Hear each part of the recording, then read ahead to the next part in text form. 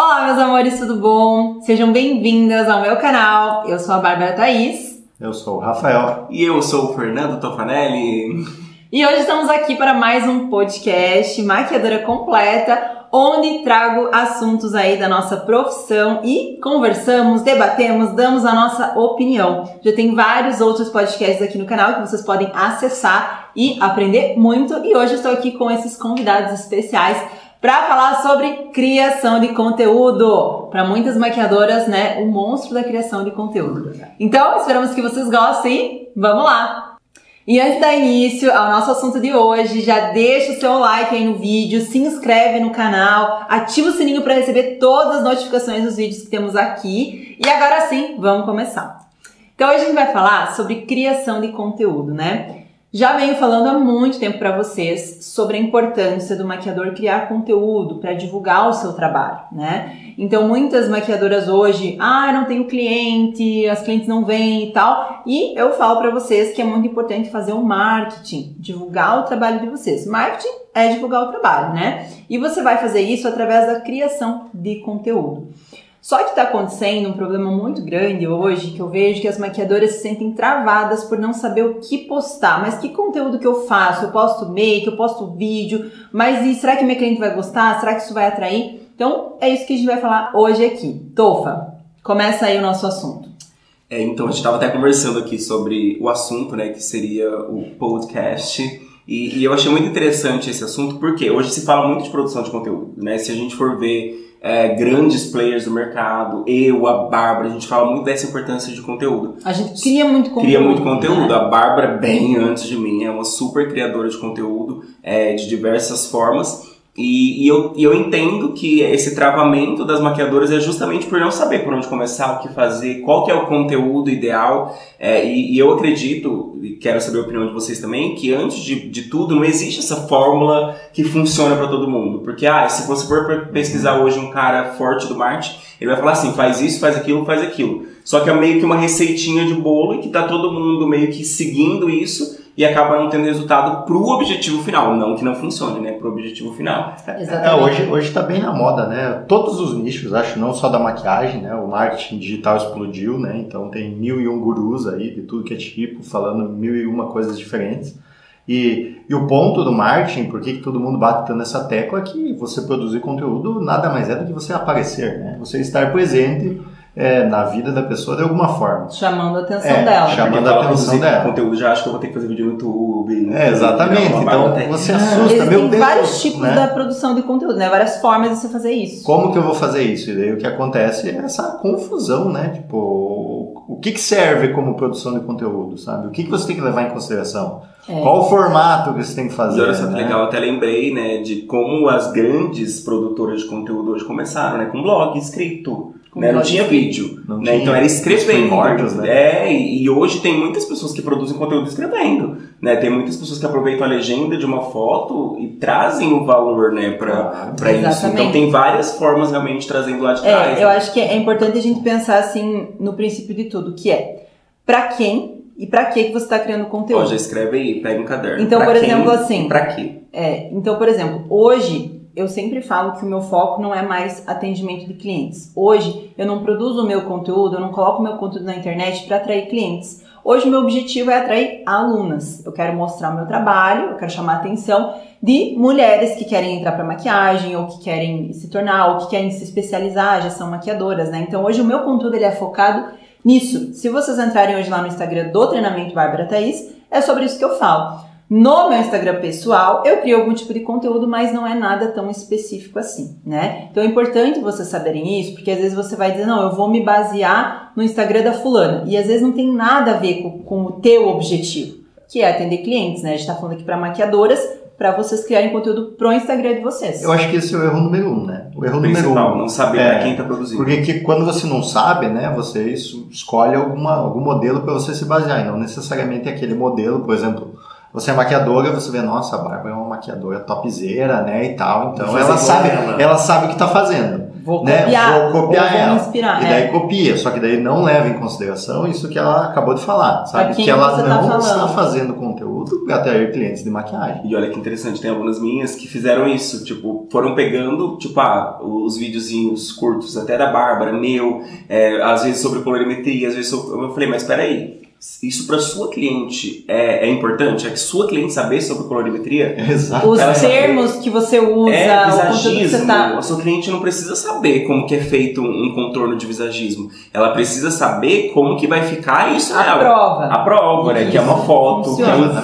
vídeo maquiando uma cliente, que é uma, é uma foto da sua cliente maquiada. Então, tomar muito cuidado, porque às vezes, a gente, ah, eu quero mostrar que eu sei, mas será que a sua cliente quer saber dessa forma que você sabe? Ou realmente uma maquiagem aplicada nela? Então, eu percebo muito isso. É isso Querem aí. produzir conteúdos, nós que focamos Sim. em alunas, para cliente, né? Acaba Uhum. se perdendo aí. Então a, a primeira coisa assim que vocês têm que fazer é justamente pensar nisso que eu acabei de falar. Para quem vocês querem criar conteúdo? Ter essa é para né? cliente? Esse É para isso, isso é persona. Isso é o seu o público alvo, né, que você quer atingir.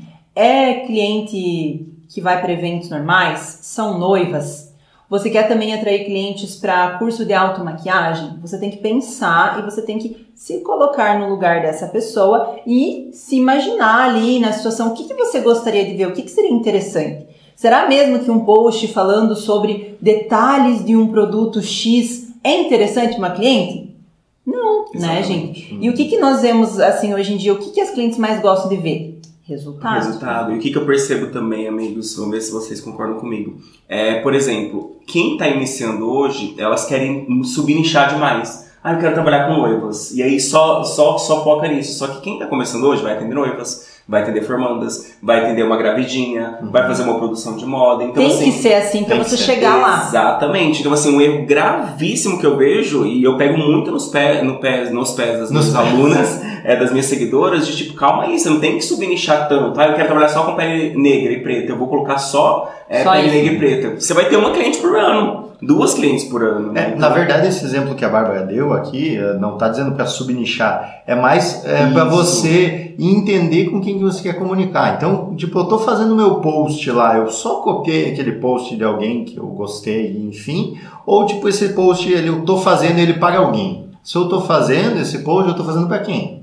Sabe? É um Isso post, com esse post aqui, eu estou comunicando com a noiva, digamos que eu queira trazer noivas para meu atendimento. Estou comunicando com a noiva? Estou comunicando com a formanda? Estou comunicando com a pele madura, com a pele negra? É isso. Estou Você dando hoje- tô comunicando meus cursos de automaquiagem? Isso, você hoje que já cria algum tipo de conteúdo, vai lá no teu feed agora e olha e analisa se você está comunicando. Será que esse teu feed aí, ele não tá passando uma impressão que não tem nada a ver com o que você... Com a quer pessoa? passar? Com que É, você quer Nós A passar? gente tava até Analisando olhando, a gente tava né? olhando um, um perfil é, de uma maquiadora antes de começar aqui o vídeo e ela posta automaquiagem, videozinho, challengezinho e, e fotos de automaquiagem e vários conteúdos sobre produtos. Hum. Ah, top produtos, diferença, o que, que é o sabonete glic- glicerinado, né? Parecia que o Instagram dela era, Era de de venda, de produto. produto. Dava essa impressão ao olhar. E nós temos que pensar muito nisso, né? Impressão. E daí o que, que acontece com essa maquiadora? Não tem cliente. Exato. Não Uma coisa que eu fiz quando eu tava conteúdo. atendendo também, é, por exemplo, eu pensava, né, eu tenho que gerar um conteúdo porque eu quero mais clientes e também para aparecer mais. Eu gravava a maquiagem da minha cliente e postava essa maquiagem, né? Eu postava o resultado e de repente o vídeo maquiando essa cliente. Então eu conseguia mostrar que eu sabia fazer maquiagem, mostrar que eu estava atendendo uma cliente e atrair consecutivamente mais clientes, porque é uma cliente real, né? Então esse conteúdo Exatamente. de cliente, você consegue atrair vários clientes. O próprio conteúdo de automaquiagem, né? Você acaba ajudando também a atrair o público de automaquiagem e futuros clientes. Não atrapalha, né? Tipo, a cliente não vai é, não querer fazer a maquiagem com você porque você ensinou uma diquinha pra ela, de repente, de como usar esponja É, ou Na como aplicar verdade, isso base. é muito legal porque isso vai mostrar que você sabe o que você está fazendo. Isso vai gerar autoridade em você. Autoridade. Afinal de contas, você está dando aula de alguma coisa, né? É Porque Tá alguma coisa você sabe. Pelo É menos é isso isso aí. que as pessoas, quando te veem aqui, Devem pensam, acreditar, é, devem pensar, né? Então é muito importante você ter ali no teu conteúdo isso, essa conexão com quem de fato você quer atingir, né? Que são as clientes. A maioria das maquiadoras querem clientes, clientes, né? né? Clientes e postagem de foto de cliente, tava até contando pra eles aqui antes. da gente começar. Como eu fazia minha dinâmica de atendimentos, né? Quando eu atendia, eu tirava fotos da cliente, só que daí eu tinha dificuldade. Ah, eu fui tirar foto da cliente. Pega ela- essa dica. E ela não, não era boa como uma modelo pra Não tirar foto. tirar não sabia foto. tirar foto. Pra começar, uma das dicas que eu já, já dou pra vocês produzirem conteúdo. Ah, você pega, pede pra cliente tirar uma selfie, tira foto dela tirando selfie. Já fica ótimo. Que ela se vê de uma maneira diferente. Exatamente, o ângulo do rosto é diferente. Só que eu fazia selfie com as minhas clientes e fazia uma montagem e postava tudo isso no final do dia. Tipo, ah, eu tinha 10 maquiagens. Cara, era 10 clientes que eu postava juntos ali. Isso tudo gerava autoridade. As outras clientes olhavam, meu, ele tá atendendo o cliente. Ele é muito bom e tem o resultado de todas as clientes. Porque uma coisa é falar que eu sou bom, outra coisa é eu mostrar que Essa eu fiz dica é aquilo. muito legal. que eu Você tira uma selfie com a tua cliente, Selfie, com a tua selfie. cliente. Stories. No final, Tava grava um stories ou outro posta perfil, foto falei, olha que stories. incrível, ele faz stories de todas as clientes dele, não precisa ser no feed também, pode ser stories, mas você está mostrando que você está atendendo clientes. Aí você entra no perfil de uma maquiadora, só tem ela ou só tem modelo. Você não cria conexão com a cliente. É. Ela não vai querer Primeiro fazer que se ela maquiagem com entrar você. ali, ela vai achar até que talvez seja uma blogueira, se só tem foto tua, vídeo teu, né? Inclusive, às vezes esse não é, um erro, esse é um que erro você bem básico, né? Básico. É bem, bem básico, porque o que acontece? Ah, tem que produzir conteúdo. Daí o que, que a pessoa vai lá e faz? Vários videozinhos de automaquiagem, Sim. posta foto sua. Quando bate o olho lá, É pelo menos eu, eu bato o olho lá e falo, não, é blogueira, né? Tá, né? Fazendo Não passa blogueira, impressão não de uma passa impressão. Ainda mais se não, não tem escrito em lugar nenhum, assim, a pessoa não vai adivinhar que, É que é interessante porque eu recebo é, mensagens de clientes hoje que querem fazer maquiagem comigo, elas falam assim, oi, você está atendendo Exato. ou só dando curso? Exato. Então, pra mim também. Olha que massa. Ela vem Como muito a gente se eu consegue- estou maquiando ainda, A né? gente consegue passar essa, essa visão de que nós Uhum. estamos ensinando hoje, mas é isso que vocês têm que tomar cuidado. Aham. Como você vai passar a visão para sua cliente que você está atendendo? Atendendo, mostrando clientes reais, postando antes depois, nós comentamos do antes e depois, que é uma coisa que eu percebi que os maquiadores pararam de usar e, e é um, um gatilho É, muitas tão... pessoas é muito pedem, forte, ai, né? Bárbara, devo postar antes e depois? Pode, você pode postar. Você pode postar só a foto da Pede cliente, autorização foto cliente depois. e tá tudo bem. Se ela não estiver confortável, se ela não gostar, daí você não posta. Simples assim. Eu lembro que eu postava Sim. muito e minha cliente às vezes chegava, eu quero que você poste meu antes e depois. Tipo assim, aí tinha outra que chegava assim, ai, por favor, não poste meu antes e depois. Tipo É assim, mesmo. dela já saber que eu tinha esse hábito de postar os antes e depois. Uhum. E é, e é pra mim um dos os gatilhos que mais Se funcionam. ela não quiser o antes e depois, fala, então vamos tirar uma selfie Eu quando a maquiagem estiver pronta. estiver pronta, entendeu? E, E aí Daí se ela não quiser a selfie, ela vai te falar. e tá tudo bem.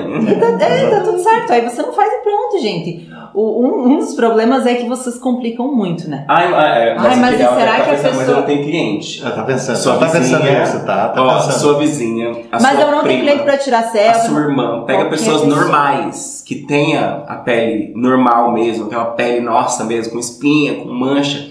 Pega essas clientes e produzam é, conteúdo baseado nisso, na Isso é realidade. produzir conteúdo, gente. Isso é produzir conteúdo. Você chama um modelo, você maquia, você grava ali um pedacinho da maquiagem, você tira a foto do antes, tira do depois, você vai. É isso que é o criar conteúdo e é isso que a gente quer mostrar pra vocês. Não precisa vocês ficarem, meu Deus, o que, que eu vou criar de conteúdo? Eu tenho que fazer uma arte bonita, eu tenho que ter um feed ah, eu não sei mexer no organizado. Canva, eu não sei Eu não isso, sei eu sei usar filmar. aplicativo, não sei o quê. Eu não tenho Faz câmera. o básico, mostra que você sabe maquiar. Prova isso para as pessoas. E isso sim vai atender cliente, muita cliente. E depois de um tempo, quando você já tiver mais nesse mundo aí e já tiver pegando cada vez mais intimidade, você vai melhorando, né? Vai melhorando. Você vai melhorando a forma de gravar vídeo, você vai melhorando a tua luz e as coisas evoluem dessa forma. E é, é interessante porque eu tava numa sala no Clubhouse, eles falaram muito sobre isso e, e da importância da gente não ver isso como um produto, né? Como um, um serviço apenas. Porque às vezes você entra no, no Instagram de uma maquiadora, putz, só tem maquiagem ali, né? Uhum. E nós vendemos uma transformação, né? É, nós vendemos histórias também de sonhos realizados. Até a gente comentou, nossa, eu lembro que eu postava foto da minha noiva, eu escrevia a história daquela noiva, eu marcava essa noiva, Uhum. eu contava o que eu sentia, eu contava a sensação que eu tive. E aí as noivas se conectam, né? As clientes se conectam com histórias. É, uma também, uma cliente que me marcou muito, ela tinha muita acne, assim, e eu contei, né? E ela deixou eu postar antes depois. Ela ficou tão emocionada, assim, com o resultado que ela deixou. E eu contei essa história e muitas outras clientes se conectaram. Porque às vezes ela, ai, mas eu tenho mancha demais, eu tenho acne demais, é, eu não vai dar conta, ela tem vergonha. Então, isso conecta clientes, isso Sim. conecta pessoas com vocês, né? Trazer essa, essa veracidade, essa realidade, né? Exatamente. Eu tava fazendo longe. Pausa, pausa dramática, pausa Agora, sabe o que a gente dramática. podia falar sobre ajudar elas realmente a como é, trazer Se esse organizar. conteúdo, se organizar com esse É. conteúdo. Como, como se eu fosse. Ah, vou começar na maquiagem hoje, tá? É, na Você verdade, que não é maquiador. eu que não sou maquiador. Mas eu vou começar. e Eu vou começar na é, maquiagem. Decidiu viver da maquiagem. Exatamente. Eu decidi hoje começar a virar maquiador e viver da maquiagem. Fui lá, tô assistindo todos os vídeos do YouTube que existem, todos os Instagrams de maquiadores possível, consumindo o máximo possível de maquiagem possível que eu conseguir. Vou lá, vou fazer um curso, obviamente, até para mim aprender o básico do básico, tá? Beleza, e aí, tá? Fiz o meu curso, aprendi a pegar num pincel, que é importante, né? E, e agora, o que, que eu vou fazer? Basicamente, gravar e postar o que eu estiver treinando. Só, só isso. Uhum. Chama a tua mãe, você vai treinar, Posta, tá? mãe. Porque você precisa treinar. Isso é legal porque assim, ó, pra quem aí tá do zero, É. esse exemplo, mas até mesmo pra você que já é maquiadora e que tá nessa confusão mental de não saber por onde começar. Ela já maquia, você já sabe, se você já tem até alguma cliente ou outra, né, mas quer atrair mais, é o mesmo processo. É você Mesmo começar a mostrar o que, que você tá fazendo. Tá? É você começar a gravar, é você começar a colocar lá nos teus stories aos pouquinhos, tá? E tem que ter essa organização, tá? Então, acredito que a, a dica aqui é isso, é você, o que, que eu vou fazer, tá? Então, eu acho que você pode começar pensando é, os dias da semana que você vai postar e o que, que você vai postar. E aí você vai procurar Faz um produzir calendáriozinho, isso, né? tá? Então, é, o primeiro passo é você pensar para quem você quer fazer esse conteúdo, quem que você quer atrair, tá? Que é você definir o teu nicho ali, definir a, a tua persona, né? Como nós falamos, e fazer aquele, aquela, é, se colocar no lugar da pessoa, né? Ter essa empatia de você, o que, que ela gostaria de ver. E aí, a partir daí, você vai começar a criar esse seu conteúdo e você vai definir os dias que você vai postar. Isso é muito importante, né, gente? Da Porque mesma forma O conteúdo emprego ele normal. dar, aham, é isso Tipo aí. assim, é isso né? que falta, eu Da sinto, mesma sabe? forma. Eu visualizar isso como um serviço, como um Uma emprego que eu tinha, que eu tinha horário né? pra fazer, que É eu verdade. tinha o- o- a função certa pra fazer, porque é, a, que a maquiadora hoje eu recebo muito no- na caixinha de perguntas, não tenho cliente. Como que eu atraio clientes? Não vai cair do céu cliente, nunca caiu do céu cliente, gente. Então, essa constância é, é, é uma sementinha que você vai plantar, você vai cuidar dessa sementinha pra lá na frente você colher os frutos, né? Não é de um dia pro outro. E, Só que é fazendo isso todos os dias um pouquinho que você vai construir isso, né? Não Uhum. adianta achar que é uma vez ou outra, ou só aparecer quando você quer vender, ou só aparecer quando você quer colocar E cliente uma na coisa agenda. muito importante, não confundir as coisas, tá? Porque o que, que eu vejo também? Às vezes a pessoa lá, a maquiadora, começa a criar conteúdo e ela quer que as pessoas comentem, que as pessoas curtam, que as pessoas compartilhem. E isso não vai acontecer rápido. Não vai sabe demorar. você- Sabe E daí, uma pesquisa. peraí, só, só concluir. E aí, o que que acontece? Desse pequeno conteúdo, desse início, já começam a aparecer algumas clientes, que é o que você quer. Então, assim, já começam a aparecer algumas clientes, ou até mesmo pessoas da tua cidade elogiando e, e curtindo o teu trabalho e visando você. Então, isso é um resultado que você está tendo através do conteúdo, né? Então, não ficar esperando que, ah, eu quero crescer muitos seguidores, maquiadora famosa no Instagram, né?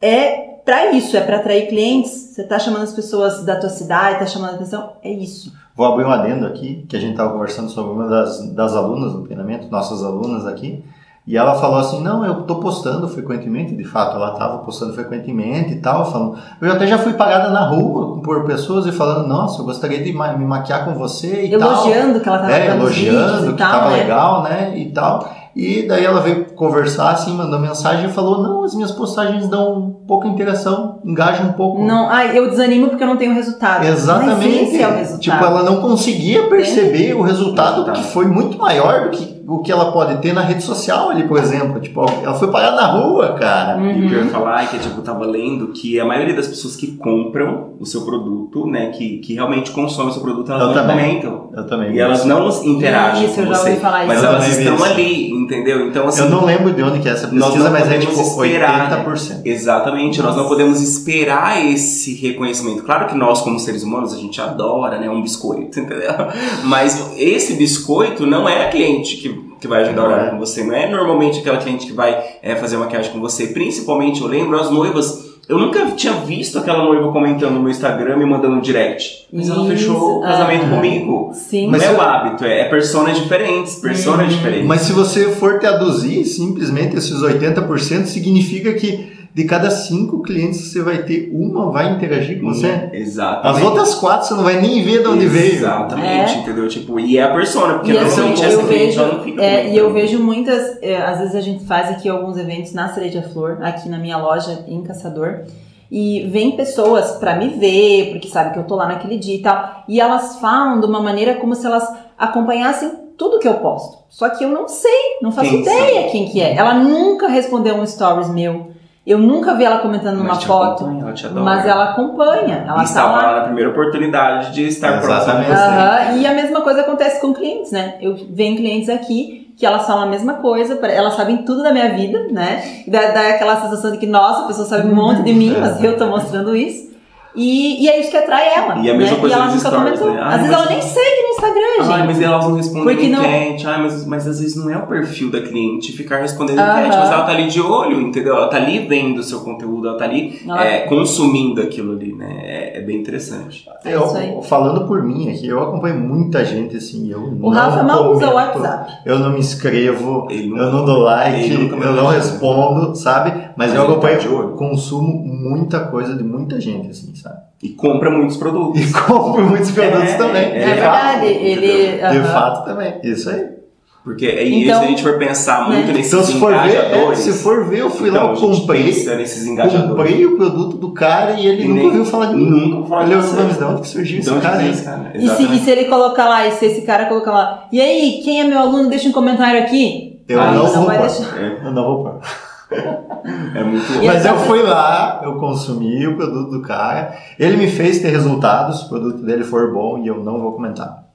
É, e é um perfil dele, né? É, é- é um, é um perfil justamente. Eu né, também não sou tanto de comentar. Mas eu muitas vezes eu faço isso porque eu quero interação. Então eu preciso interagir para eu ter interação também, Sim. né? Então eu, eu também eu comento nas fotos de outras pessoas, eu engajo com elas para ter esse retorno. Isso também é Porque se a importante. gente for ver sobre esse engajamento, sobre esse biscoito que tanto querem, esses grandes influenciadores, eles não vendem um produto, né? Eles fazem normalmente propagandas embutidas para outras coisas. Então, tipo assim, não tem um, produto para vender. Então, eles, eles ganham muito engajamento porque realmente são situações que acontecem no dia a dia. É, é uma naturalidade, é, é espontaneidade. Só que realmente, para quem tem um produto para vender, tem que pensar muito. Que eu- não é de engajamento que eu vou viver, não é de comentários que eu vou viver, não é de curtidas que eu vou viver. É de Sim. quem entra. É, eu, eu faço isso, na verdade. Eu busco muito tudo isso porque eu também faço, eu tenho minha loja, que eu vendo produtos através de stories e tal. Mas tem que pensar nisso, tem que pensar que você está vendendo ali o teu serviço. Serviço, né? exatamente. Se você pudesse vender o teu serviço ali na hora, arrasta pra cima e compra, aí é uma coisa, mas a maquiagem não é assim. Não é assim. Então você tem que pensar nessa pessoa, tá?